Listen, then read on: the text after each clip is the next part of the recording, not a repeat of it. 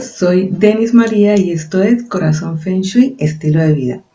Hoy vamos a hablar de cómo colocar los puntos cardinales en el plano. Bienvenidos.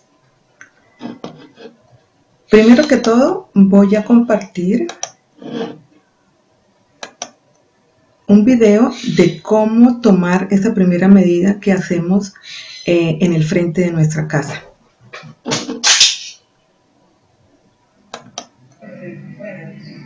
Hacer el ejemplo de cómo tomar la medida en la casa.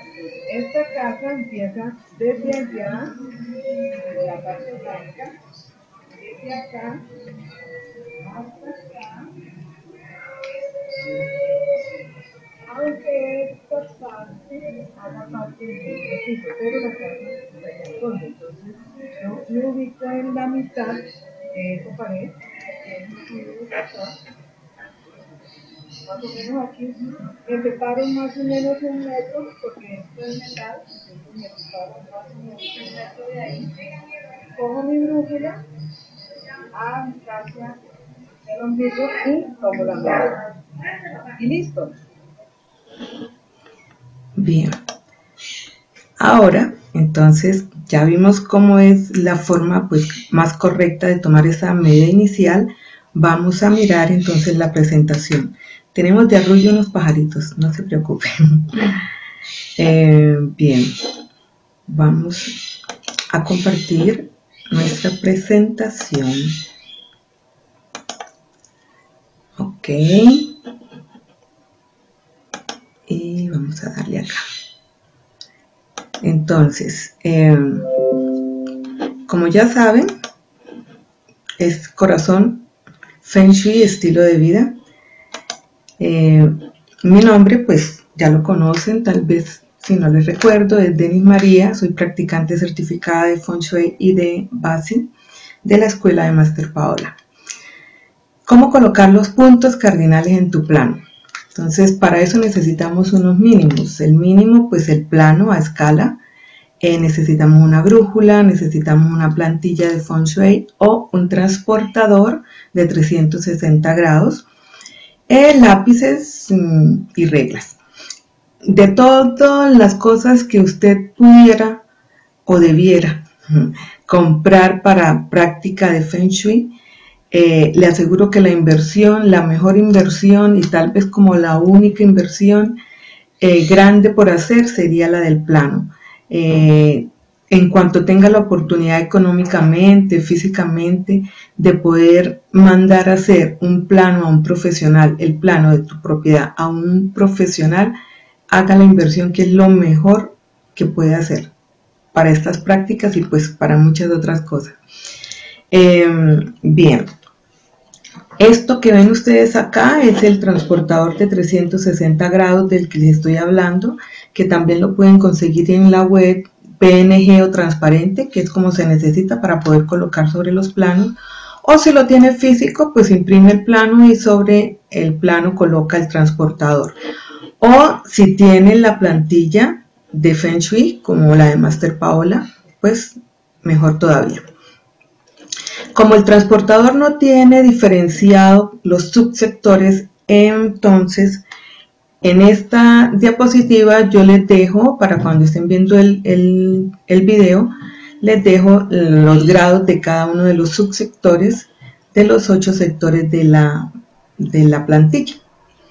Bien, necesitamos un plano hecho por un profesional donde están bien tomadas las medidas, que eso es clave para ubicar los sectores. La brújula, que sabemos que es una brújula que marca el norte magnético no el norte real. En misceláneas podemos encontrar estas misceláneas o cacharrerías o esos negocios en los que se venden muchas cositas. Em, o bajar una de Play Store para los celulares, para los Android. Bien. La forma correcta de tomar la medida para poder ubicar en el plano nuestros sectores es lo que vimos en el video. Entonces, en la, en la fachada, en la mitad de la fachada, separada del metal, tomamos la medida y con eso nos vamos. Pero hay otra forma, que de pronto no es tan correcta y puede variar en grados uno y otro.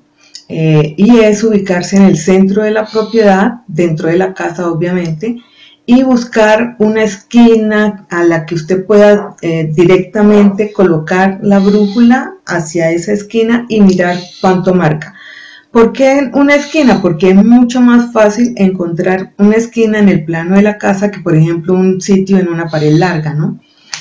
Eh, bueno, esa es la otra manera. En el plano, entonces una vez que tenemos el plano, nosotros necesitamos, me río por el, corito de, pájaros que tal vez está usted sintiendo en este momento, pero bueno, sigamos.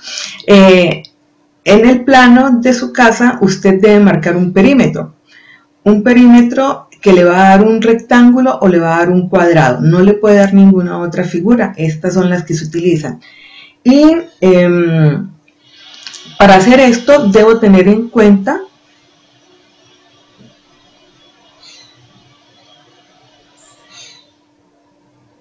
Para hacer esto debo tener en cuenta las zonas vivibles de la propiedad. Entonces, un garaje no es una zona vivible, un patio destapado sin techo no es una zona vivible. Pero si el garaje o el patio tiene o colinda con espacios vivibles de la propiedad, entonces necesariamente voy a tener que incluirlos en total o parcial, como ocurre en este caso. Cuando empiezo a marcar mi perímetro, fíjense ustedes, el límite aquí es donde están estas habitaciones que me toman parte del garaje. Y cuando voy al patio, pues como colinda con esto, me toma todo el patio. Nada que hacer, simple y sencillamente cuando estemos ubicando los sectores, aquí en el patio van a haber eh, faltantes y aquí también va a haber un faltante, pero es lo que hay, no interesa, no hay problema. ¿Para qué marcamos un perímetro? Marcamos un perímetro para poder encontrar el centro de la propiedad en el plano. Entonces hacemos una X, unimos las esquinas en diagonal, nos da aquí un punto central. En este punto central es donde va a colocar el, centro del transportador de 360 grados o el centro de la plantilla para poder ubicar los sectores. Tenemos aquí otro ejemplo. Em, pasamos nuestro perímetro.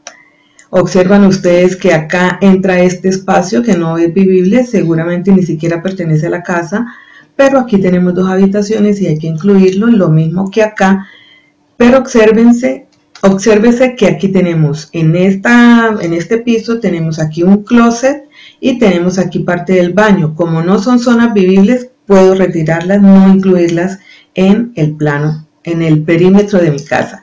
Hacemos la X y encontramos nuestro centro.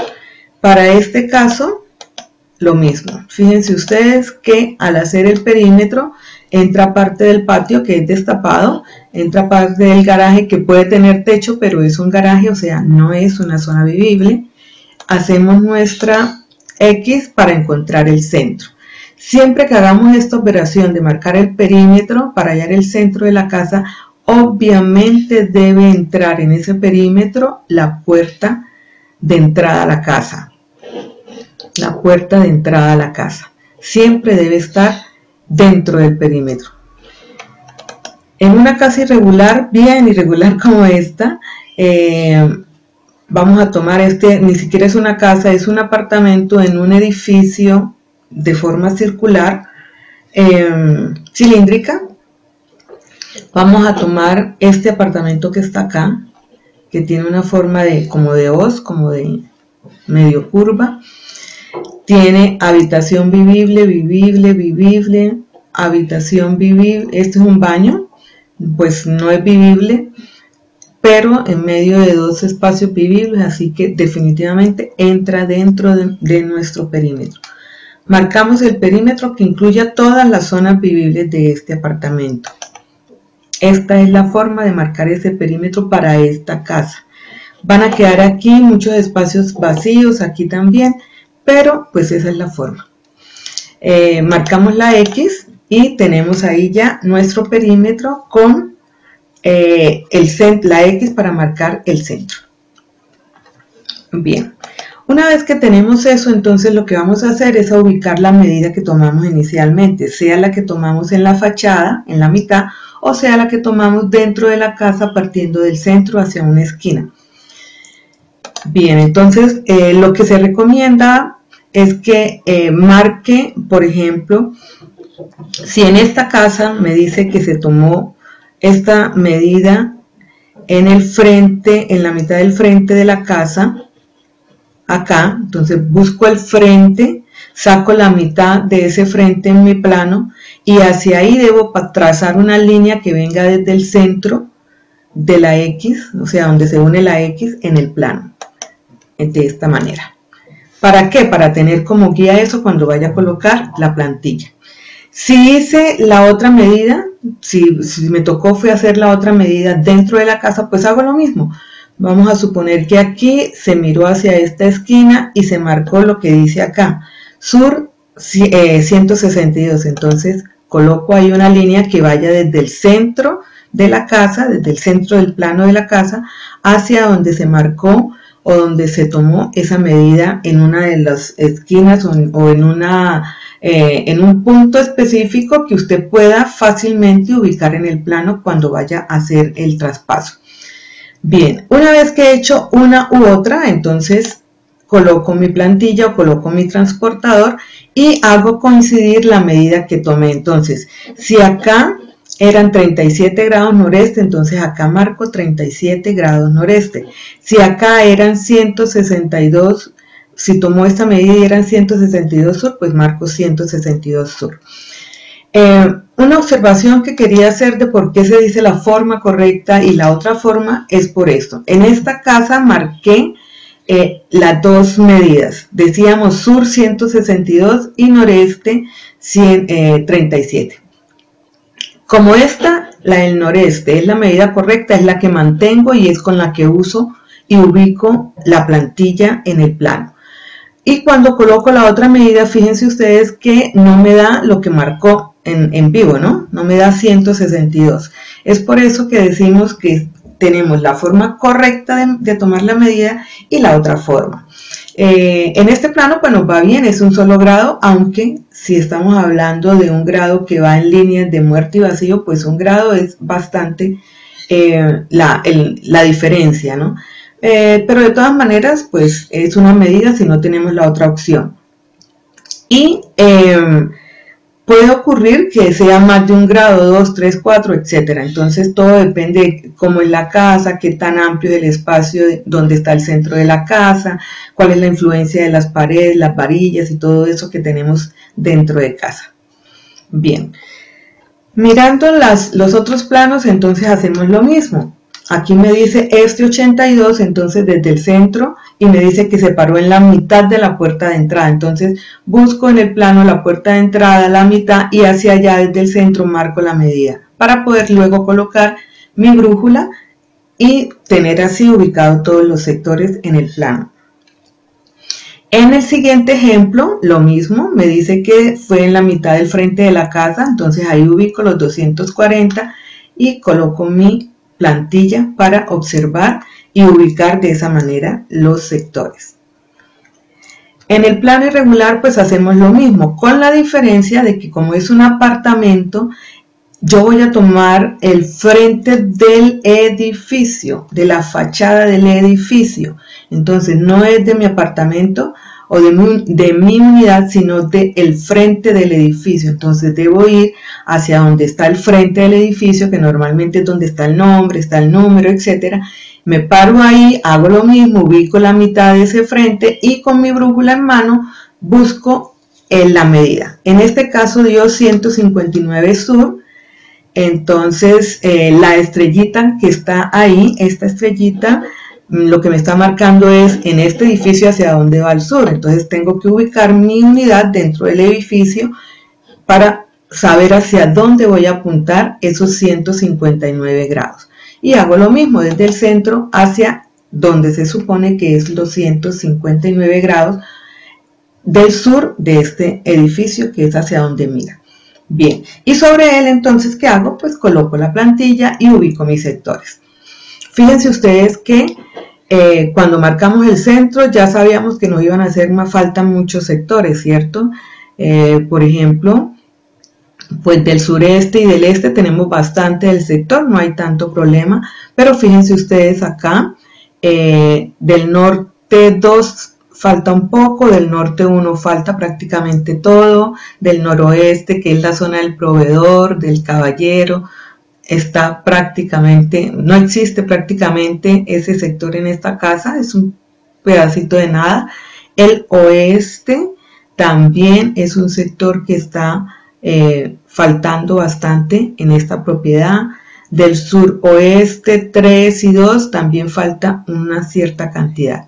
Este es el problema con las casas irregulares, pero bueno, es lo que hay y pues hay que mirar. Eh, esta casa de pronto no le, no le funciona, no le apoya a una familia que tenga un proveedor, porque esa carencia del noroeste, por ejemplo, puede significar que empiece a viajar mucho, que ese papá se vaya, ¿cierto?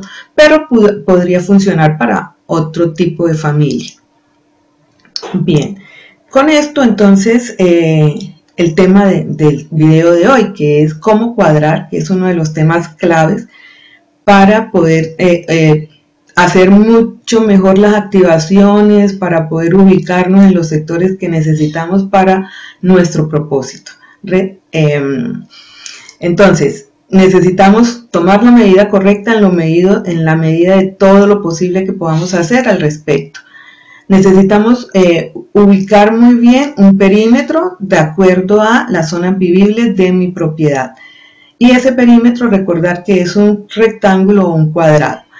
Necesitamos entonces ubicar bien la medida que tomamos inicialmente para luego sobre ese, esa medida, partiendo del centro de nuestra casa en el plano, ubicar la plantilla y así quedan ubicados los sectores. Y de ahí en adelante, pues, todo lo que nosotros necesitemos hacer. Recuerden, somos energía, nos alimentamos de energía y nos ubicamos en la energía que mejor nos sirva para nuestro propósito de vida. Recuerden por favor suscribirse a mis redes, al canal, dar like, colocarle el clic a la campanita para las notificaciones, para todas las cosas que vamos y que estamos haciendo. Muchísimas gracias, espero que el video les sirva bastante. Em, recuerden que si van a invertir en cosas que tengan que ver con Feng Shui, eh, el plano hecho por un profesional sería casi que lo único y lo primordial. Si no tuviera esa opción en este momento, de pronto se me pasó decirlo, eh, puedo hacerlo en una hoja cuadriculada o milimetrada, dándole un valor de metros a cada una de las cuadrículas de acuerdo al, al, pues al área de la casa de ustedes. Bueno, muchas gracias, nos vemos, bendiciones.